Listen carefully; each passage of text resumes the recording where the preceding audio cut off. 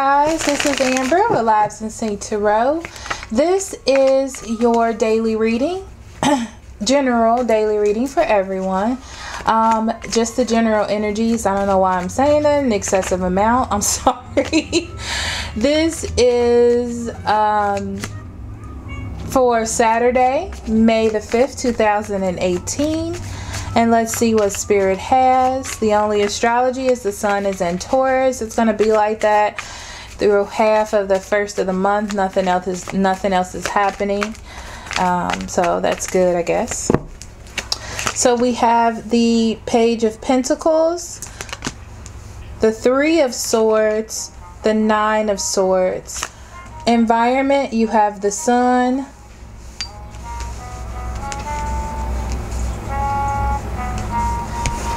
And internally, you have the Knight of Swords in reverse.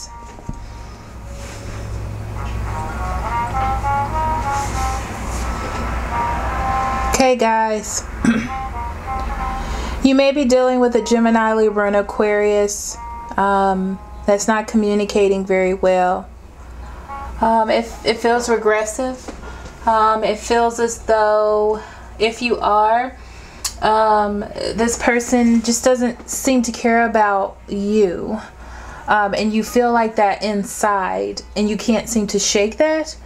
Um, also, with the Page of Pentacles, I feel like you're trying to manifest something new. Um, that is an offer, okay? Um, maybe an offer was turned down because you have the Three of Swords. So it feels as though you have, or someone has been trying to make something stable and it seems to not be connecting. I don't feel like this is a breakup with the Three of Swords. I feel like things aren't connecting and they're going uh, in different routes. Okay, you end with the Nine of Swords and that gives you some hope, right? It's it's interesting because it almost feels as though that the breakup manifested something better. In your environment, you have the sun in in reverse, and that talks about a brief moment of sadness, having delays.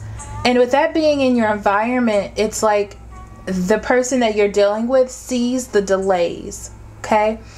It's almost like they see that you're attempting to manifest that something good is happening maybe in their life that breaks them from where they were. And then you get like a ray of hope that things could get better today, towards the end of the day. Now, with the Knight of Swords being in your internal energy, it's a very having scattered thought, not knowing what is happening today. I feel like you're down and you're up. You're up and you're down. Okay, so if you're up, you're going to be down. If you're down, you're going to be up towards the end of the day. Uh, I feel like your emotions or your thoughts are going to go every which way. But with the Page of Pentacles, I'm just told to manifest on learning. Having something that you want to know more about and how to make it better and you have to separate from some things. Um, knowledge of knowing that you have to separate from these scattered thoughts. Separating from these delays knowing that whatever is happening in your life needs to be separate from your love life or vice versa if that's career. And by doing that you'll find a light at the end of the tunnel okay? I feel like it took me a long time to get there but you know how it is.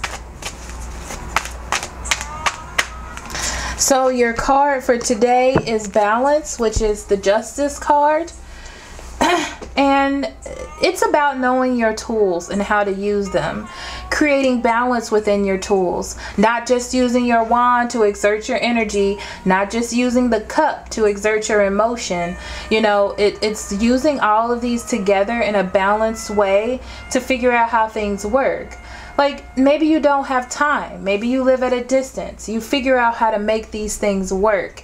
And by doing that and separating separating each aspect but making them equal, if that makes any sense, um, you can actually find some balance, some happy, some supportive needs. They're telling me to put the tower in reverse, right?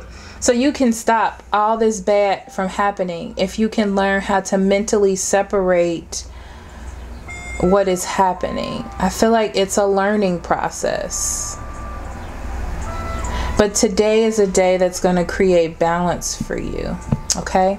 So thank you so much for listening. I love you very much. Love and light. Bye bye.